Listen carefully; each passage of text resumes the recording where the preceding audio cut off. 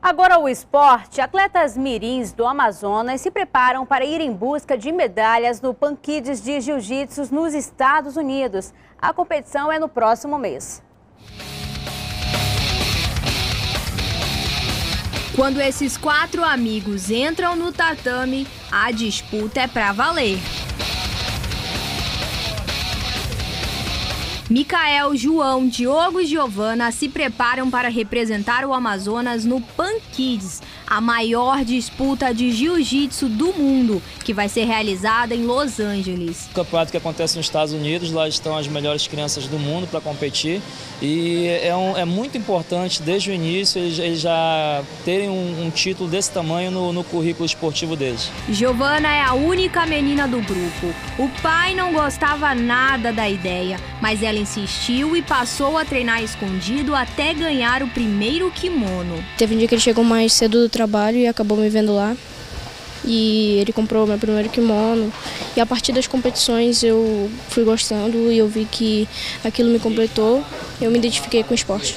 Depois que o pai resolveu apoiar, ele deixou o emprego para investir na carreira da filha. O que ela precisa, eu estou ali sempre do lado dela. O que ela precisa de apoio, de, de, de vitaminas, de, de academia, de tratamento, de reforço, eu estou sempre ali do lado dela para ajudá-la. Eles ainda são crianças, mas levam o esporte a sério. Disciplina, treinos e alimentação regrada fazem parte da rotina desses pequenos atletas.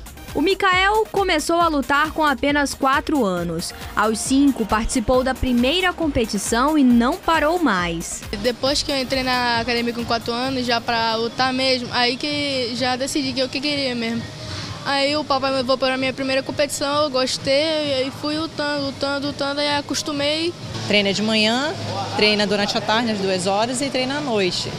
A alimentação dele nesse, nesse meio tempo que ele está se preparando para a competição fora do Brasil é, muda totalmente, porque sabe que uma criança é, né? Gosta de comer algumas bobagens, e aí ele não, não pode é, errar em nada, né? Já o Diogo gostava de assistir lutas pela televisão, até que decidiu fazer uma aula experimental de jiu-jitsu e se apaixonou pelo esporte. Meu irmão estava treinando e comecei, ele me chamou para treinar.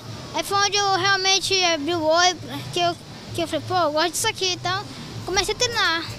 Assim como o amigo, João também gostava de assistir aos programas de luta e treinava os golpes com o irmão até se matricular em uma academia. O meu professor me incentivava muito, tal, fazia muito posição. Aí eu comecei, eu comecei a gostar muito, né? O pai me mostrava lá as lutas, eu comecei a treinar mesmo. Os quatro embarcam para os Estados Unidos em março e no dia 16 disputam a competição. Se eles conquistarem as medalhas, a viagem deve esticar até Orlando para comemorar a vitória nos parques da Disney.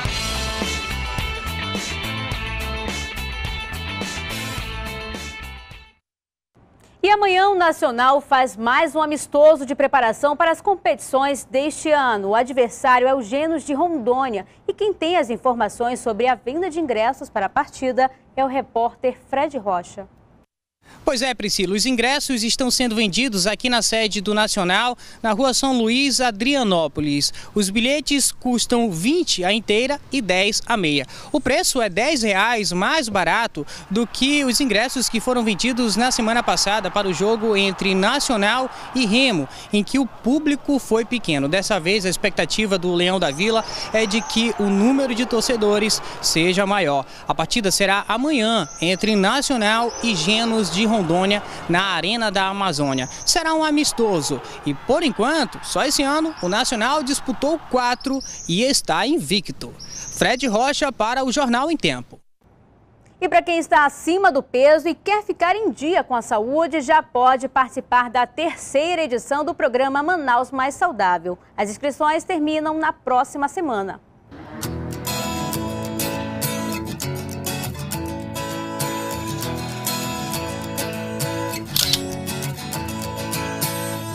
Pessoas com histórias parecidas e um único objetivo: emagrecer.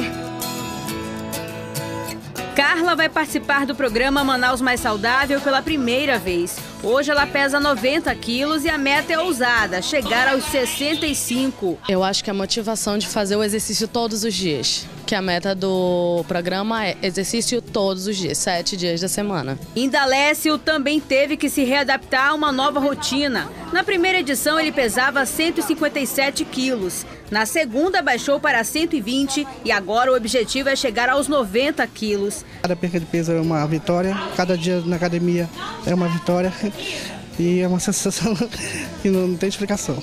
Nas duas edições anteriores, os participantes perderam ao todo duas toneladas de peso. Nesta já são 85 inscritos, mas ainda dá tempo de participar.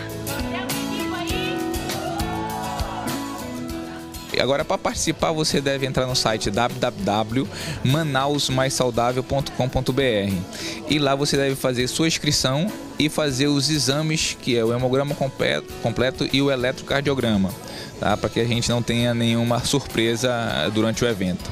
São 90 dias intensos de exercícios físicos diários, além de acompanhamento de nutricionista, personal, psicólogos e quiroprático.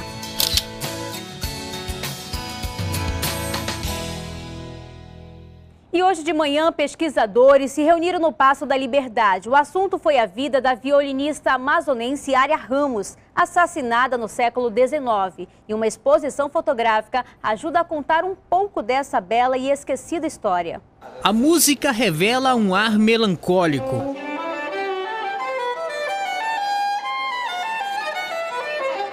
Essa foi a última canção que Ária tocou antes de morrer. Essa foto é o único registro da artista que se tem até hoje. A jovem violinista morreu em 1915 durante um baile de carnaval. A ideia de pesquisar sobre a artista partiu dessa escultura de mármore. A obra de arte representa a própria área e foi construída no túmulo dela aqui no cemitério São João Batista. E o pesquisador e fotógrafo Tássio Melo foi quem decidiu resgatar esta bela história. Através de uma visita né, no cemitério São João Batista, fotografando, em 2011, eu tive ali, me deparei com uma escultura de uma mulher aparentando ter relativamente o mesmo tamanho é, real. Foi aí que eu me apaixonei e tive interesse de descobrir um pouco mais sobre a história. Mas essa não é a primeira vez que a vida diária foi pesquisada. Na década de 70, Carlos Amit foi o pioneiro. O título que ele deu à matéria é A Bala Perdida que Matou Área Ramos. Né? Então sugere pelo título que ela tenha sido uh, vítima de uma bala perdida e não de um crime premeditado até hoje é um mistério, né? Desta vez, um grupo de 17 pessoas deu vida à trajetória da violinista. São 20 fotos. Uma modelo paraense foi quem representou a artista. Os registros foram feitos em prédios históricos do centro de Manaus. Nós tentamos fazer o resgate histórico por meio da locação.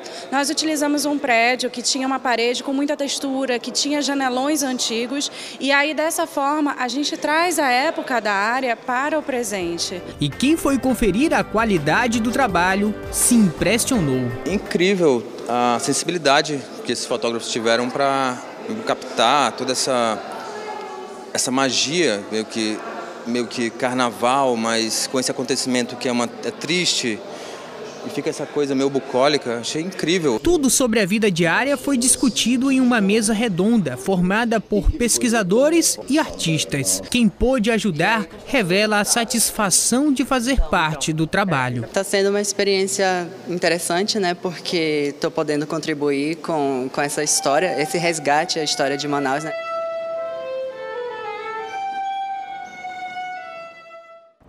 No Amazonas, as chuvas abaixo da média têm prolongado o período de seca. Quem navega para a região do Alto Rio Negro tem dobrado a atenção. O baixo nível das águas dificulta a navegação.